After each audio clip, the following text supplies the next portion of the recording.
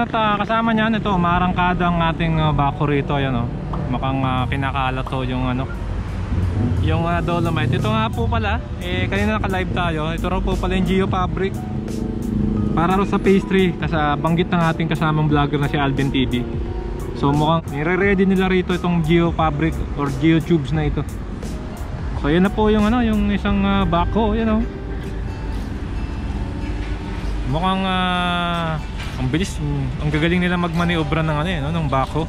Kala mo talaga parang motor lang. Ayun. Ano kayang ah, gagawin ni Sir? Kukunin niya yung ah, dolomite sa gilid. Ayun.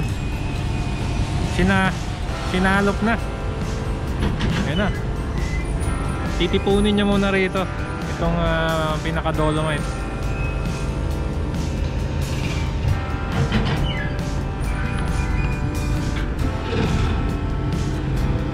Ayun oh.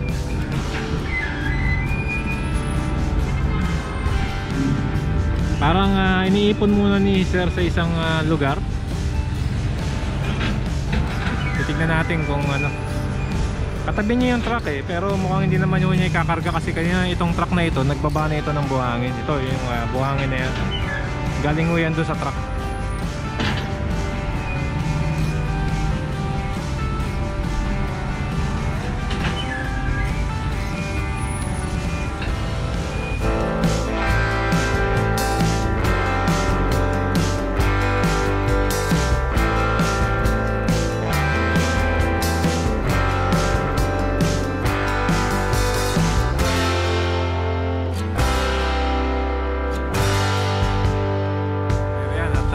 Sumusugod po ngayon sa laban ay yung backbone na yan.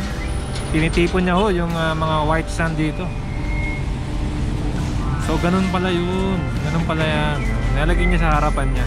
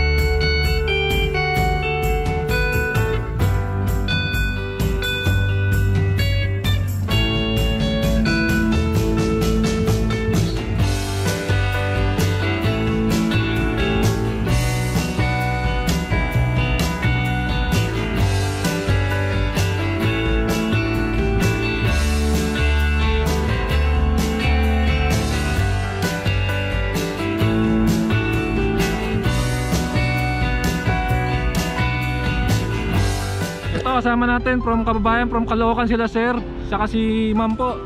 So pauwi na, umuulan na. shoutout sir na lang, shoutout mga taga Caloocan. Shoutout sa mga mahal ko sa buhay. Birthday ko ngayon. Ay, happy birthday pala, birthday ni sir. Yan at ah, mga taga Caloocan, ride safe po at tayo na. Sana wag mo na bumagsak. Sir, thank you. Thank you po. Bye-bye. Ayun yung ah, nawala na yung mga batang nakita natin kanina at ah, ngayon umuulan na.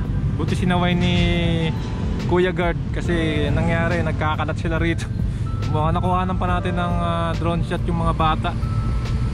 Eh nangyari, bukod sa nagsiswimming, minsan nagkagugulo, nagkakalat. Eh no, ah, nataboy na yung mga bata, andun, andun na sila. Buti yun na ano, nakita nung guardia. At ah, nakita rin natin sa drone. Ah, kaya nilapitan ko rin eh. Kitang-kita nandun nagkukumpulan sila ron sa tubo. So yun, nakausap natin si Kuya Opcam at uh, yun nga sinaway niya yung mga bata ron. Pasaway ito umuulan na. Sana mapayungan tayo na itong ah, mga puno ng nyog, mga kasama. So at least ah, sana pag may nakita tayong mga ganun, nakakatakot na kasi minsan po nangaaway yung mga yan, mga solvent boys. So panawagan po sa mga baka sa mga otoridad. Sana po mas uh, maprotektahan po natin tong ano. Itong ah, Manila Bay, yung mga kababayan natin, mga kabataan na ano, pag-alagala rito. Minsan may mga nangaaway pa minsan yung mga yan. So masama, kung nagustuhan nyo itong video, inahan niya ako po ay mag-like, mag-comment, and subscribe, hit yung notification bell para update po kayo pag may bagong time video. So yun na, umuulan na, lumalakas na. Keep safe, chiwalt malasakit, and see you po sa next vlog update mga kasama.